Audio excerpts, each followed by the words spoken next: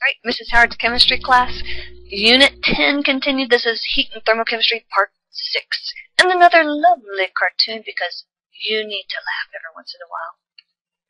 Alright, so Roman numeral number 4 on your notes, phase changes. And we, when we say phase changes, you might also know them as changes of state. So again, this is some information you already know, so we're reviewing what you should know. And you guys already know that when something changes phase from a solid to a liquid to a gas, that it's based on temperature and pressure. Mostly you're familiar with it being based on temperature. And um, usually when we talk about um, gases, that's when we can bring in that whole pressure thing too. Okay, while a substance is changing phase, the temperature stays the same. Oh my gosh, that's huge. Put a big circle around that. Let me say that again. While a substance is changing phase, so when it's at that zero degrees Celsius, where that's when the point that liquid water changes to solid water, you'll find that you'll find both the solid and the liquid point. And if you keep adding the heat to it, like you've got the ice and you want to change it to the liquid water, while there's still ice and liquid there, you have a steady temperature at 100 degree, at, at 0 degrees Celsius. It's not until all the ice is gone that the temperatures can go up again. So the heat that you add to it, like if you crank up the heat to get it to melt faster, yeah, it's going to melt faster, but if you keep a thermometer in it the whole time, the temperature is going to stay at 0 degrees Celsius until everything is gone. So the heat energy goes into changing the phase rather than increasing the temperature. Okay, so here's that graph that I'm talking about. So this is for water, right? So we have way over there on the left-hand side, you've got negative 50 degrees, so it's definitely a solid. And as you slowly warm it up to zero degrees, notice that the temperature stops increasing while it's melting.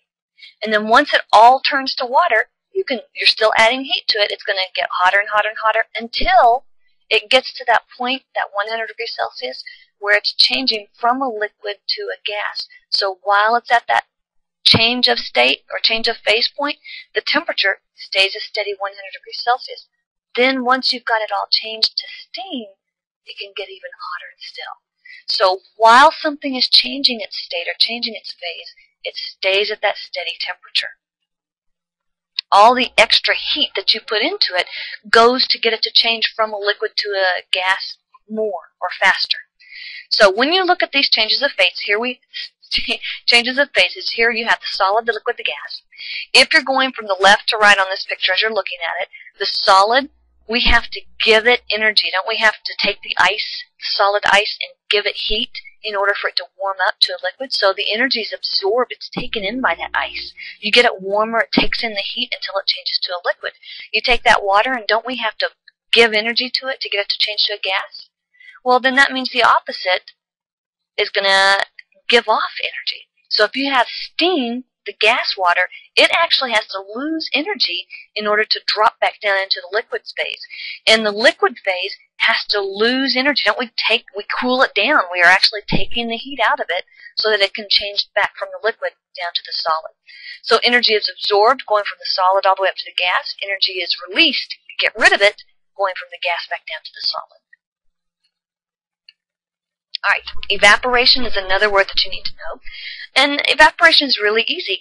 Evaporation happens when you have a liquid change into a gas at the surface of a liquid. There's a difference between evaporation and boiling.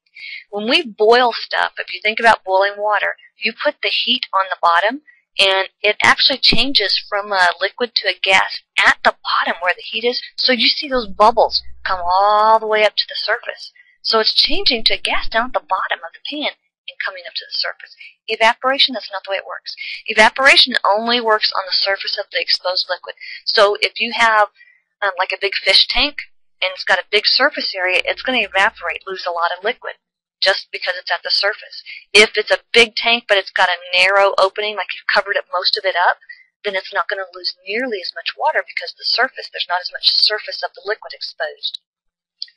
If um, kinetic energy of the molecules increases enough, some of the molecules at the surface of the liquid may be bumped free into the gaseous stage. So keep in mind, solids, they're moving, the molecules are moving, they're just vibrating back and forth. They can go faster and faster, but, but they're just vibrating. They're kind of limited in their motion.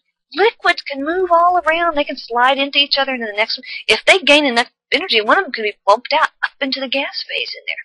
So you've got some natural evaporation that's going to occur every single time just because the molecules are moving around.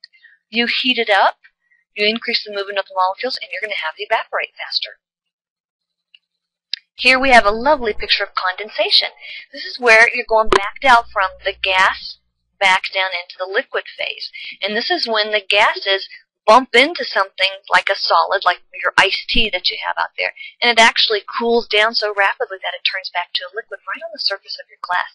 That's when we say the glass is sweating. It's because the moisture, the, the liquid, the gas water that's in the air hits that cold glass and it loses so much energy, it changes from the gas state back down to the liquid state immediately. Molecules with lots of kinetic energy bump into slower ones, and they lose so much energy that they can't stay in the gaseous state. So we have condensation. Now, that's not the same as sweat on your skin, by the way. Um, you're not, when you have sweat on your skin, you know, like little beads of sweat, that's not coming from the air around you. That's actually being put out of holes in your skin, the sweat pores, that actually put that liquid out on your skin, so that when the air comes along, it can evaporate the water off of your skin. And evaporation takes energy. If you change it from a liquid to a gas, you have to put energy into it to get it to do it, right? Changing liquid to gas, boiling it, evaporation also takes energy. Where's it getting the energy? It's getting it from the heat of your skin. So it takes energy away from your skin to get that liquid evaporated off your skin, and so it ends up cooling your skin down. Alright, next one's boiling. Boiling is changing the liquid to the gas. It can, can, occur at the bottom of the liquid, it can occur at the top, it can occur anywhere. So you're changing the liquid to a gas. Usually it's at the bottom because, you know, we put the heat at the bottom down there. Oh, how lovely. All right, freezing then is when you have a liquid that uh, liquid that changes to a solid.